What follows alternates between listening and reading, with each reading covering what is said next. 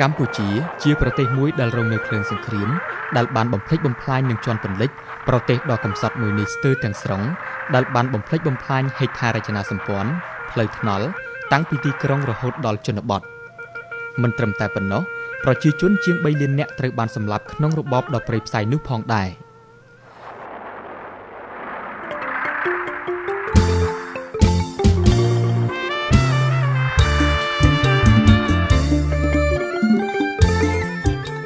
តែជាភ័ព្វសំណាងថ្ងៃ7មករាឆ្នាំ1979បានរំដោះប្រជាជននិងប្រទេសដ៏កំសត់មួយនេះឲ្យចេញផុតពីភ្នក់ភ្លើងនៃសង្គ្រាមដ៏សែនឈឺចាប់មួយនេះក្រោមការដឹកនាំរបស់គណៈបកប្រជាជនកម្ពុជាប្រទេសកម្ពុជាបានធ្វើដំណើរឆ្ពោះទៅមុខស្វែងរកសុខសន្តិភាពនិងការអភិវឌ្ឍជូនប្រជាពលរដ្ឋរហូតមកដល់សប្តាហ៍នេះរយៈពេល39ឆ្នាំដែលកម្ពុជាបានចាក់ផុតពីរបបប្រល័យពូជសាសន៍ ប្រជាជនមានជីវភាពរស់នៅសមរម្យនិងសម្បូរសប្បាយដោយសារគុណបំណាច់ដ៏ធំធេងរបស់គណៈបកប្រជាជនកម្ពុជា បច្ចុប្បន្នក្រោមការដឹកនាំដោយគណៈបកប្រជាជនកម្ពុជា យើងសង្កេតឃើញថាកម្ពុជាប្រែមុខមាត់ថ្មីដោយផ្ដើមចេញពីចំណុចសូន្យរហូតដល់មានការអភិវឌ្ឍនិងរីកចម្រើនស្ទើរគ្រប់វិស័យនៅរាជធានីភ្នំពេញនិងនៅតាមបណ្ដាខេត្តនានាដោយក្នុងចំណោមខេត្តទាំងនោះខេត្តរតនគិរីក៏មានការរីកចម្រើនគួរឲ្យកត់សម្គាល់ផងដែរ។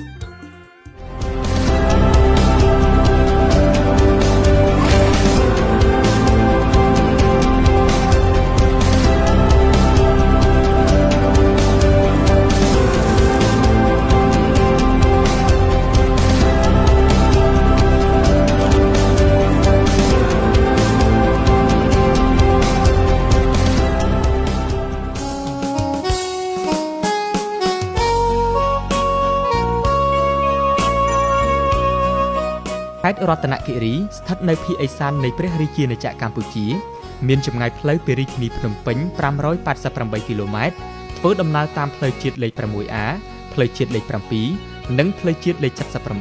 78ខេត្តមានវិសាលភាពផ្ទៃដីទំហំ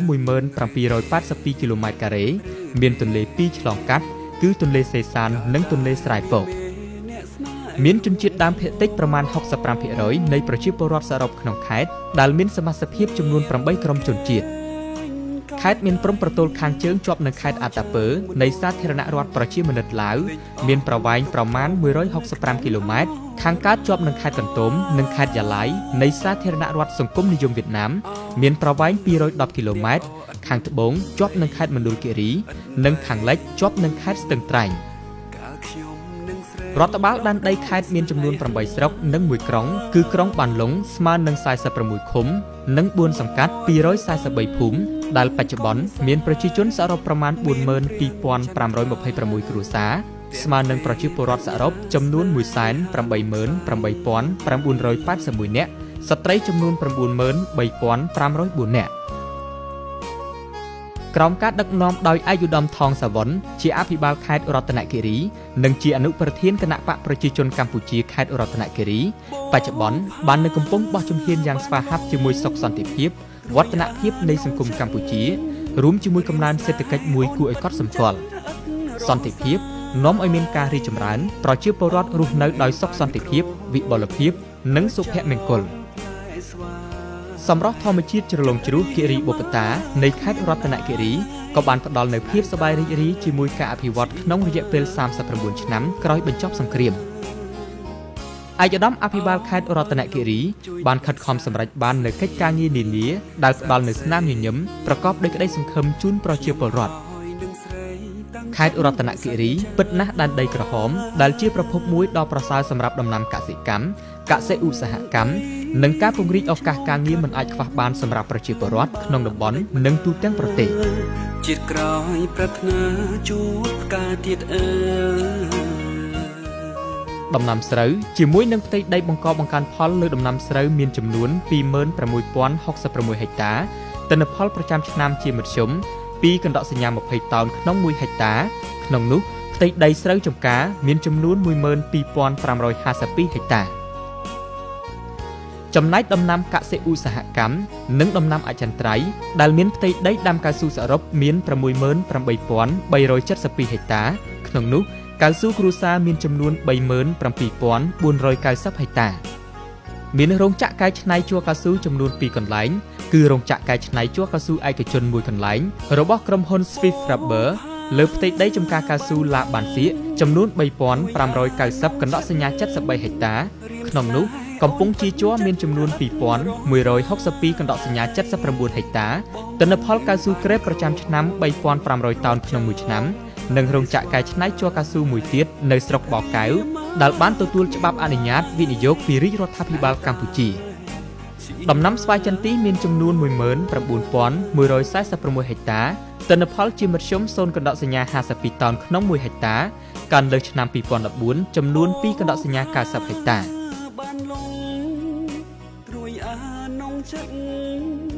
បច្ចុប្បន្ននៅក្នុងខេត្តរតនគិរីមានសេវាកម្មស្នាក់នៅចំនួន50កន្លែងស្មើនឹង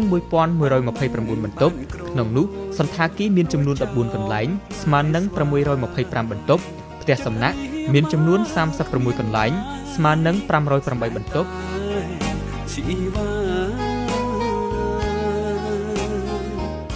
ដោយសារសក្តានុពលដ៏ល្អឯករបស់ខេត្តរតនគិរីទាំងវិស័យដីធ្លីសក្តានុពលធនធានធម្មជាតិ ជាមួយនឹងតំបន់រមណីយដ្ឋានទេសចរចំនួន14កន្លែងក្នុងនោះរមណីយដ្ឋានអេកូទេសចរចំនួន12កន្លែងនិងរមណីយដ្ឋានធម្មជាតិចំនួន2កន្លែងជាពិសេសរមណីយដ្ឋានធម្មជាតិបឹងយក្សឡោមបានតេទៀងភ្ញៀវទេសចរមកទស្សនាខេត្តរតនគិរី មានការកើនឡើងជារៀងរាល់ឆ្នាំនិងបានធ្វើឲ្យខេត្តភូមិភាគឦសានមួយនេះទទួលបានការចាប់អារម្មណ៍ពីសំណាក់ប្រជាពលរដ្ឋលោកហើយទន្ទឹមនឹងនោះ វិស័យទេសចរបានផ្ដល់កំណើនសេដ្ឋកិច្ចជូនប្រជាពលរដ្ឋនៅក្នុងខេត្តផងដែរ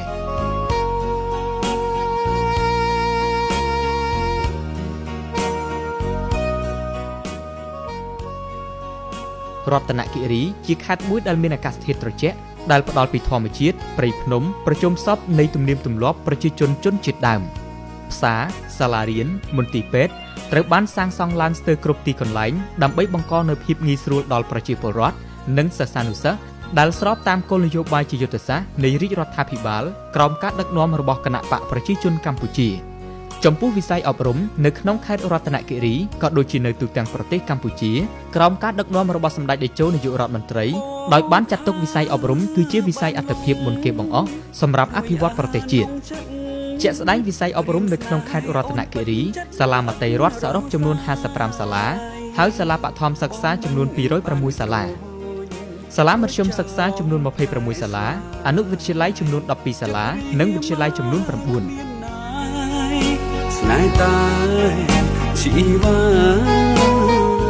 ទន្ទឹមនឹងសក្តានុពលនៃការអភិវឌ្ឍនៅក្នុងខេត្តរតនគិរីនេះឯកឧត្តមគណៈអភិបាលខេត្តមានចក្ខុវិស័យនិងផែនការយុទ្ធសាស្ត្រដ៏មុតមមមួយក្នុងការបន្តអនុវត្តតាមប្រមុខនៃរាជរដ្ឋាភិបាលកម្ពុជា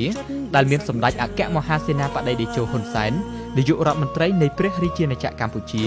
កំពុងនាំនាវាកម្ពុជាឲ្យមានសន្តិភាព និងការអភិវឌ្ឍហើយអ្វីដែលពិសេសនោះខេត្តរតនគិរីគឺជាខេត្តមួយពោពេញទៅដោយភាពល្អស្អាត ប្រណិតភាព ការអភិរក្សកែច្នៃសម្រស់សម្រាប់អភិវឌ្ឍខេត្តប្រកបដោយចីរភាពខេត្តរតនគិរីបានកំពុងបន្តខិតខំកែលម្អនៅរាល់ហេដ្ឋារចនាសម្ព័ន្ធគ្រប់បែបយ៉ាងសម្រាប់ប្រជាពលរដ្ឋផង និងអ្នកទេសចរជាតិអន្តរជាតិ ដែលចូលមកទស្សនាទឹកដីដ៏ស្រស់ស្អាតមួយនេះក្រោមការយកចិត្តទុកដាក់ពីសំណាក់ថ្នាក់ដឹកនាំខេត្តក៏ដូចជាការខិតខំប្រឹងប្រែងផ្ទាល់របស់លោកប្រធានសាធារណការនិងដឹកជញ្ជូនផ្លូវក្នុងក្រុងផ្លូវលំជនបទនិងផ្លូវទៅកាន់ច្រកទ្វារព្រំដែននិងដោយមានការយកចិត្តទុកដាក់ពីសំណាក់រាជរដ្ឋាភិបាលអាជ្ញាធរខេត្តបាននៅកំពុងធ្វើការសាងសង់ជួសជុលថែទាំនិងកែលម្អជាប្រចាំដើម្បីជួយសម្រួលដល់ការធ្វើដំណើររបស់បងប្អូនប្រជាពលរដ្ឋ ដែលទាំងអស់នេះគឺជាការខិតខំប្រឹងប្រែងរបស់គណៈអភិបាលខេត្តដែលបានខិតខំមិនខ្លាចការលំបាកគ្រប់កលៈទេសៈលើការផ្ដល់ជូនផ្លូវថ្នល់ដល់ប្រជាពលរដ្ឋព្រោះវិស័យផ្លូវថ្នល់ជាសរសៃឈាមយ៉ាងសំខាន់ក្នុងការលើកកម្ពស់សេដ្ឋកិច្ចនិងជីវភាពប្រជាជននិងសង្គមជាតិ